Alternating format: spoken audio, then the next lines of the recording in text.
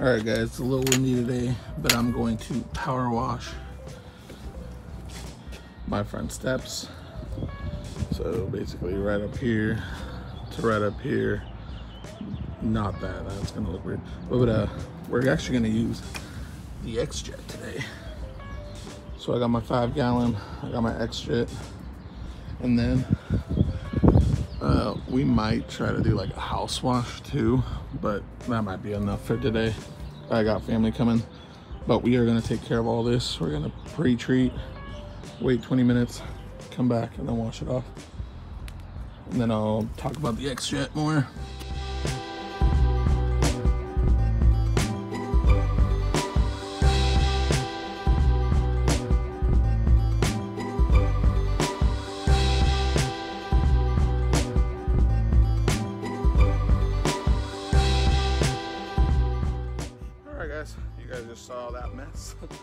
That's how you use the X-Jet.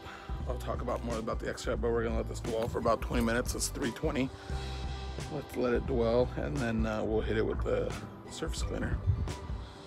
So I stopped right about here. Got everything to right about here. And then got all that. So we're gonna let that sit. I threw about a uh, 5% mix just because I want to, I'm to be out here so I can watch it. Um, usually I think I'm to stick around four because it's not so dirty, but you can already see it working, guys. Like, it's, like, uh, I'm going to show you, yeah. You already see it pulling up the dirt compared to that. I mean, even that spot that hit is already getting lighter. You can already see it starting to work. So we'll let this sit. Then we'll get the surface cleaner. But this is the X-Jet, guys. Normally, I use that little hand gun, but I was having some trouble. But here it is. This is the X-Jet. So over here, that's where you pull your chem.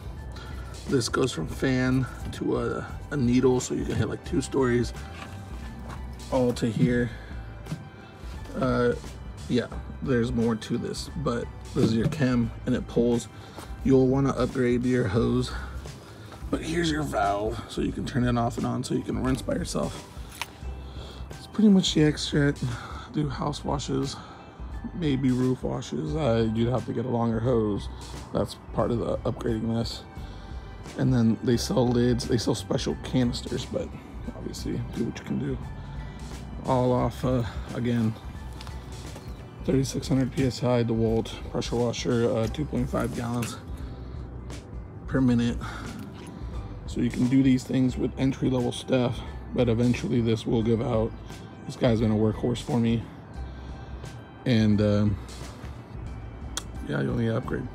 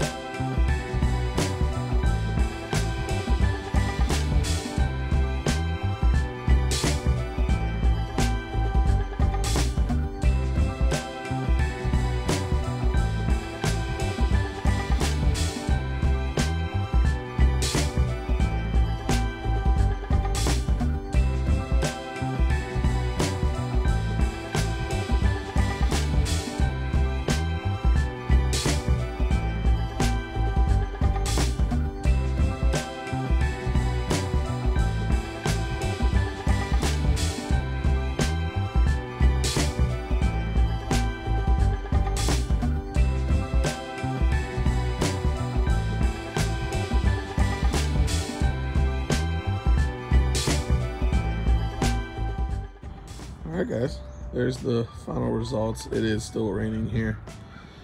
So you really can't see it fully dried, but it's, that's what it used to look like. You can tell it's way cleaner and right there front. So once this all completely dries out here in the next, you can tell the difference. It's completely dries. I'll show you guys a update on the uh, community page. Yeah, guys, that's it. That was the X-Jet. I will do a better video. I know that video got a little wild towards the end. Uh, I had family coming over, so I wanted to get it all cleaned uh, before they arrived. So that's why, like, it just seemed kind of hectic. But that was the X-Jet that I used. Uh, so next when I actually go to a job and I, am taking my time to do it, um, I'll talk more about it. Uh, but that's the video. Um, so like, comment, and subscribe again. Um, you know, this is going good. I have two lawn care jobs that I uh, went and uh, visually uh, on-sited and I got them. I got them for fifty dollars uh, bi-weekly. One of them is fifty dollars bi-weekly, and the other one's a fifty dollar weekly mow um, with a hundred and fifty dollar uh, initial service fee. So um, I did it. Uh, basically, what I told them was, um, well, it's one hundred and fifty dollars, and then after that, uh, it'll go to weekly or bi-weekly price. Um, basically, I cover my uh, my time that it's going to take me to get the property to where I can just maintain it uh, because you know we just got out of the winter, so it's a little overgrown in some areas. And they said okay to that, and we set it up. So I'll video some of that. Uh, I'll show you guys how I got those two jobs, and officially, I will be uh, a lawn care uh, business owner, I guess. Because I mean, just having tools doesn't make you a business making money makes you a business. So we'll do that. And then before I leave, that's the video though. So if you want to leave, you can leave. Uh, I want to give you guys an update on the plants, on the vegetables that we're going to be planting outside. They are huge, and uh, that'll be it for me though.